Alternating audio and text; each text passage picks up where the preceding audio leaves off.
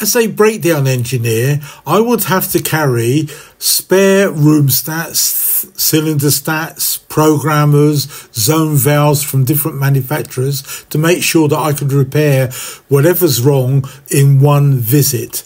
And this particular room thermostat, the Drayton RTS4 is my very favourite because it's got voltage free for those combis who have got that setting or other boilers, but it's also got the 230 volt side for those boilers and to move zone valves into position.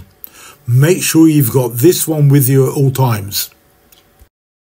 One really good feature is that all thermostats go between 10 and 30 degrees, but we tend to use just 18 to 20, maybe 22, whatever.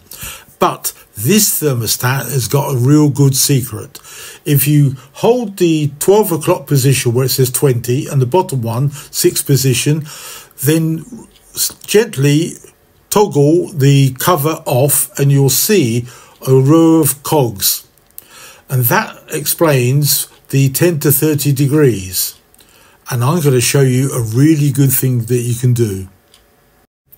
Location is crucial. As with all room thermostats, it must go in the lounge. Don't put it in the hall, don't put it in the kitchen or the bathroom. This is the feature that I want to show you.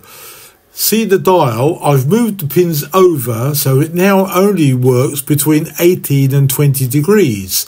as with all thermostats, they may overshoot as they get older. On a digital thermostat, which this is, it will be only 2 degrees. On an analog 230 volts, it could be up to 6 degrees. So the house is bulging with heat or freezing.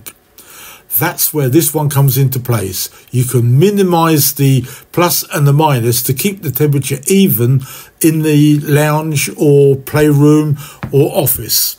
Absolutely brilliant and compulsory. These are the other models in the range that do various things, but don't forget this is a mains and voltage free thermostat in one. So it goes virtually anywhere you like. So it's, as I said earlier, if you're an installer or a breakdown engineer, always have this one with you because we get a lot of trouble from room thermostats. And when they click on, that's your fuel bill. And the sharper the room thermostat is, the lower the bill you're going to get. Please like and subscribe to this channel because I've got part two of this, which is the wiring side of it. Dead easy, it's an absolute doddle. So I'm going to do the drawing in colour for you and everyone who buys the book will get this uh, sent to them the same as all the other wiring ones. So don't forget, we're still open. You can order your books and uh, send them out within a day or two so you can get them as fast as possible. The drawings for Danfoss, Drayton, Honeywell Home, etc. on the app and the orange book. Take care.